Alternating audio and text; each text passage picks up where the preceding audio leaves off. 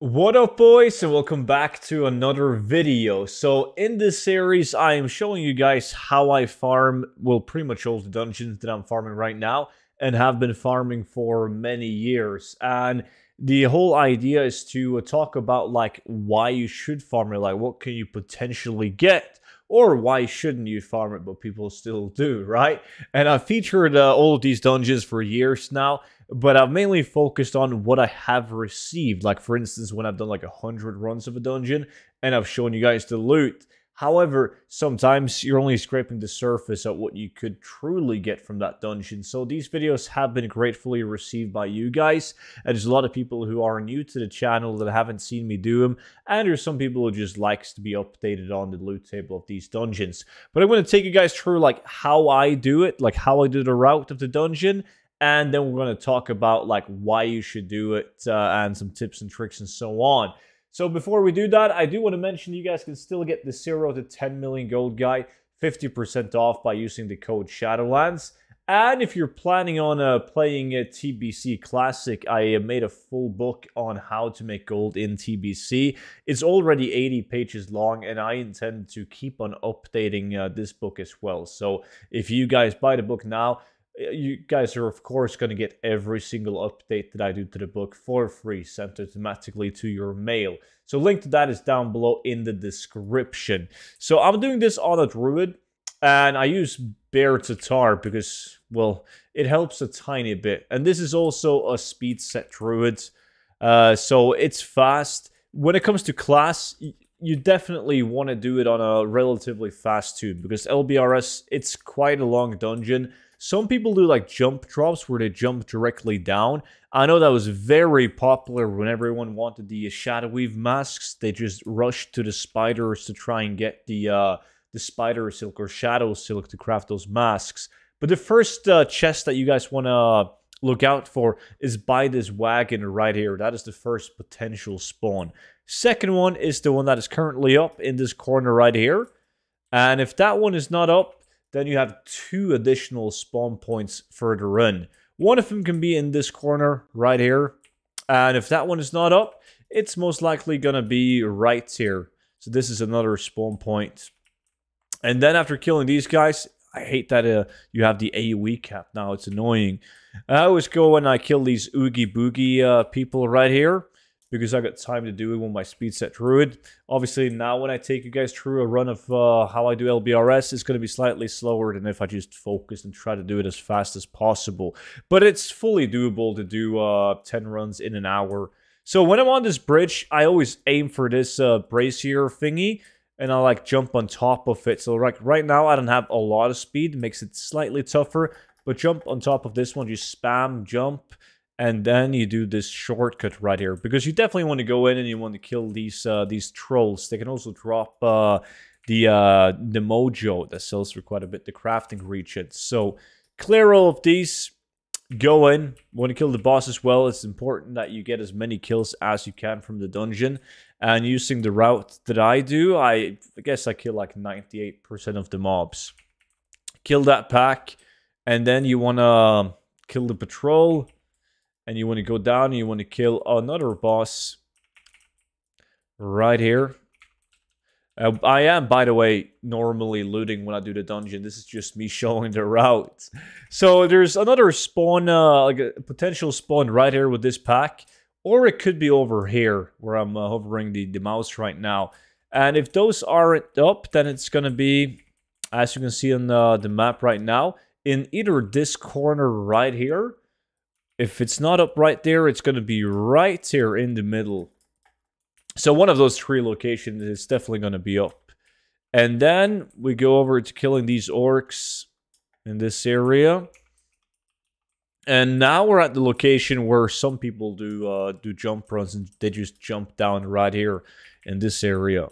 So we want to kill all of these mobs right here. Definitely want to kill the rare elite that could spawn down here uh, he could drop one of the specific items to LBRS that we will talk about. And this is another spawn point for a chest. And if this one isn't up, you uh, might have a good chance at getting the chest that could spawn in this corner right here. Like all the way in this corner, there's a potential uh, chest spawn point. So there's a lot of chests in this dungeon, a lot of them, and we're not even done yet. kill the spiders. They do drop the spider silk, as I mentioned.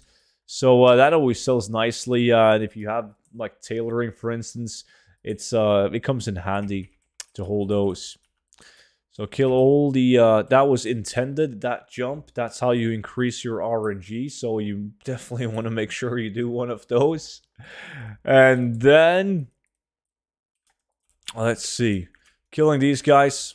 You got to use your AoE a couple of times because when you kill the big spiders, they spawn the tiny spiders.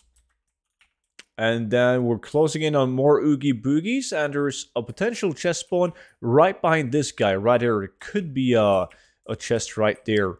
So I always aggro these uh, these packs of these small mobs because they have the same chance of giving you like a really good item, uh, like an epic, for instance, as these elites. Like there's so many of them, so you definitely want to pull them. And then you want to take a left and you want to kill these guys because there could be a chest right here. Yep, there we have it. And then the mobs, tiny guys, are going to come at you. You can also skin these guys. And then actually just skip this uh this boss. You know, like these guys right here. I don't know why. I just I never do it. And then I go into uh, clearing all of these guys. Every single one of them. And then you have a potential chest spawn in this corner right here. And if that one is not up, you could be lucky and you could find a chest that is up in this corner right here. And that was it for chest spawns, but there's a lot of them, so that's kind of cool. That's what I love about this dungeon. Well, one of the things that I love about the dungeon. And then you're almost done killing these last mobs right here. And you always, always want to go for the last boss. Uh, so whenever you kill this last boss, you if it's easy when you're a druid because you could just use uh like Dreamwalk and use it twice to pour it out and then back in again. Same with like some someone like a monk. But if you uh play on like a level 50 tune and you're not playing a druid or like a monk, you can just simply sign up in the pre-made the group finders, like just make a group, disband the group, and you will be ported out after one minute uh, countdown. So that was one run of LBRS. Now the question is like, why would you do LBRS? Because it doesn't actually have any specific transmog items. LBRS has no BOE sellable specific transmog items. So it's kind of like a strange dungeon to do because you can go to similar dungeons with almost the same world drop loot table, but they also have specific uh, blue items or transmog items to that dungeon dropping. However, LBRS has two blacksmithing plans that specific to the dungeon. That's why I said you should always do the last boss because the last boss has a chance of dropping the Arcanite champion so this is the uh, the fully crafted weapon, and this is the plan. It's currently going for 100,000 gold on my realm. So only the last boss can drop that one. And then you have the Arcanite Reaper. You can see the plan is not that good. It used to be good, but people spammed the jump runs and they got it fairly easily. But on some realms, it's still uh, expensive with the Arcanite Reaper. But the Arcanite Champion, that's where the gold is at. So that's one reason to do LBRS. The second reason is obviously Depends on the price of the Shadow Silk on your realm, but you do get a really good amount of Shadow Silk uh, when you do 10 runs of LBRS in an hour. So the reason, uh, another reason, the re and the reason why I love LBRS is because I've been so lucky getting World Drop epics in it. It's the perfect level to get uh, epics such as the Cloudkeeper Legplates, Skullflame Shield. You have uh, the Destiny, for instance. That's like the best the world drop epic items. But you also have blue items like Orb of Deception that can drop in the dungeon. And the green items that drops in LBRS and similar dungeons like BRD are going to be the uh, the Ebonhold set. You have the Imbued Plate set. You have Alabaster set. And then you got specific greens. Uh, they're world drop greens, but they're not a part of like a super set but you have like the elegant robe and pretty much every like cowboy looking hat. There's a ton of those dropping in LBRS together with like eye patches. And we're talking about headpieces that have a 0.05 and all the way up to like a 0.12 sell rate. They, they sell super fast. So that is why you should or shouldn't do LBRS. I personally love the dungeon because I like RNG and I just I, just, it just feels smooth to run through the dungeon with all the chests and whatnot. So I kind of like running it. However, you could uh, argue that LBRS is not as good as something like BRD, for instance, where you have like dark iron ore that you can mine and you can also get blood of the mountain. And then you can also uh, obtain uh, like specific blue items that drops in BRD uh, like as well as all the items that I just mentioned, but not the Arcanite Champion or the Reaper though. But it's such a great and fun dungeon to do, so I still think that you guys should go out and test it.